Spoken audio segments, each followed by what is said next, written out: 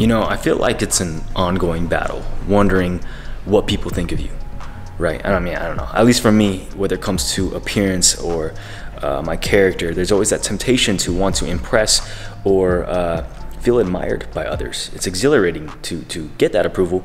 However, it's also dangerous territory because you're putting your self worth on the chopping block every time. And so, if you feel the way I do, today I want to discuss with you why you don't necessarily need to stress over this, whether you're a man or woman. Hey, honestly, you're probably a lot more attractive than you think, especially if you realize that attraction is subjective. Um, Brett Maverick said it best.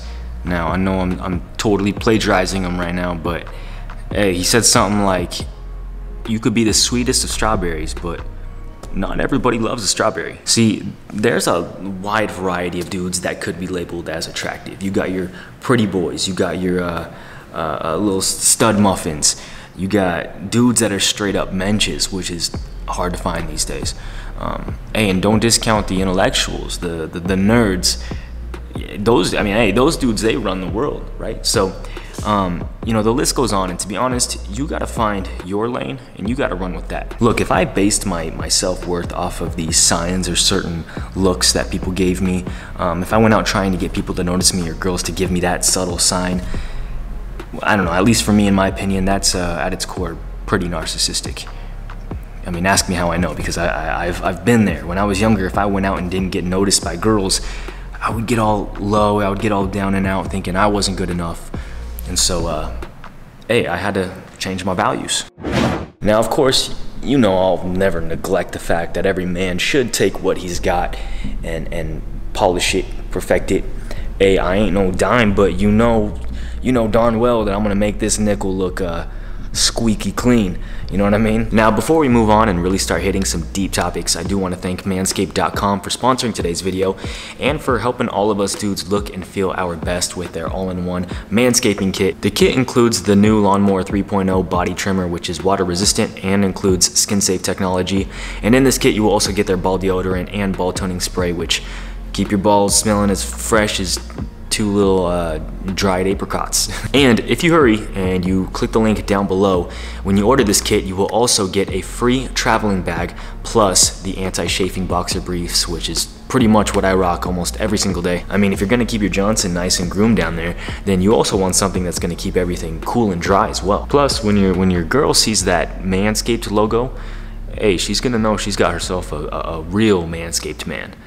Hey baby, can you get that cup for me? Yeah, of course. Here you.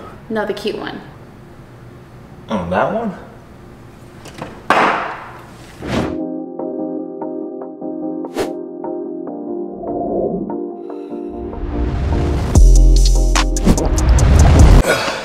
Here you go. Baby? Whoa, easy! So if you guys want to jump on this, click the link down below, use the promo code, get 20% off, plus free shipping, plus two free gifts. All right. Oh. Lakers are playing what? Celebrate the return of the NBA. All right. I'm going to catch that in a sec. Let's roll. All right. Number two, measuring yourself up uh, against others. Now, this is something I've always kind of uh, constantly battled with. And most of the time I do it unconsciously. So all in all, I am speaking to myself firstly here. And um, that's just to be aware. See, the thing that really handicaps us as, as humans is we live in a world where social media it, it emphasizes and it's it's obsessed with appearance.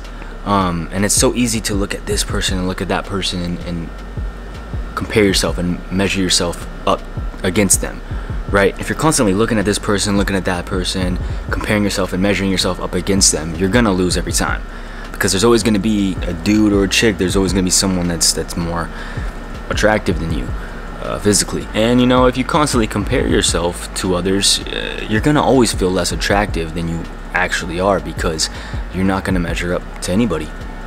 And with that in mind you know nobody's going to be able to measure up to you because they're not you and you are not them. So if that you know makes sense and here look here's a perfect example. No homo well, I don't know, maybe maybe maybe a little homo.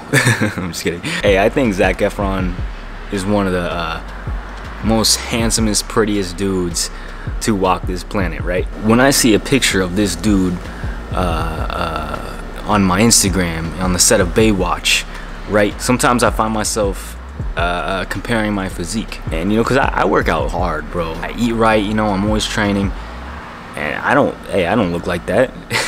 Not even not even in the same ballpark.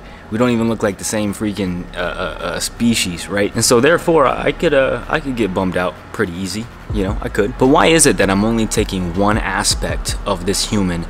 and and comparing myself to only that his appearance i mean who knows Zac could be a, a you know i'm sure he's a very from the looks of it a very genuinely uh, uh, humble nice kind dude but who knows i could uh i could have better communication skills than him i could have a little more charisma i mean i don't know i'm just you know naming stuff but you can't discount that stuff as well you can't uh, uh compare yourself just to you know you can't compare yourself one dimensionally and then make that the final call. Look, comparison is like a thief in the night. It'll it'll emasculate you. It'll it'll strip your confidence like that. But attraction, it goes a little deeper than that. There's always going to be a prettier dude, a more glamorous chick, but there's never going to be a better you than you. Now, look, I'm not saying to just always stay as you are and to never build yourself and enhance yourself. I'm not saying that, but what I am saying is is remember it, it's not about being better than than someone else. It's it's about being better than who you were yesterday. And final note, if if comparison is stealing your joy and taking over your life, I would consider deleting social media. You know, it ain't worth it. You got to remember these photos that you're seeing of other people on their Instagram, it's with the best lighting. It's uh at just the right angle. Hey, any photo you see me post on my Instagram, remember it took 50, 60, 70 photos to, to get to that one, to get to that one that I posted. Hey, are you from Coney Island? Oh no, you can't play with your toys because you're a conehead.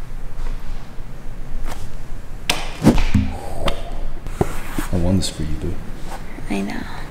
Because you're too afraid to go on the rides. Dude, don't put me on blast, dude. Jeez, bro. Yeah. Oh, easy, bro. Whoa, whoa, what the frick? You gotta bounce the ball, though. You can't. What the? F- hey, funny story about this basketball, which needs to be pumped up a little bit. Um, so a few years back, uh, I took my wife to Six Flags, and look, I ain't no, uh, I ain't no roller coaster guy. Okay, I don't get down like that. And hey, I tried, man. I went on a couple rides, and by like the third one, man, I was like, dude, I'm so done with this, man. Like, I felt like throwing up. I hated it. It was horrible. And so there's a handful of more rides she wanted to go on. And I was like, yo, I can't do this no more. This ain't me, you know. I just, I'm not feeling this. And so she went on a couple rides alone. Um, and before we went home, I felt so bad. I was like, man, I got to do something. So, hey, I grew up playing basketball. I saw a guy, you know, uh, with a little basketball stand saying if you hit uh, a shot, you know, you'll get uh, something for free. So I saw this little Wonder Woman basketball. I was like, hey, I got this. So handed me the ball, hit it my first shot, walked home, felt like a G. And hey, at least I was able to do something for her. All right, it's almost dinner time. Now this video is due tomorrow, so I'm just gonna get something real quick. ProFlex Meals was kind enough to send me out some high protein meals right here, as you can see. As I stated in my last video, this isn't sponsored or anything, but if you guys want some uh, high protein meals that are delicious, um, when I mean delicious, I mean fire. I don't know who they have on their team as far as chefs go, but they got this down, whatever it is. After I film this video, I'm gonna go with some steak and potatoes. That sounds really, really good. And hey, these bad boys right here, Power Treats, I think they're called. I'm gonna actually have one of these right now. Mmm, girl.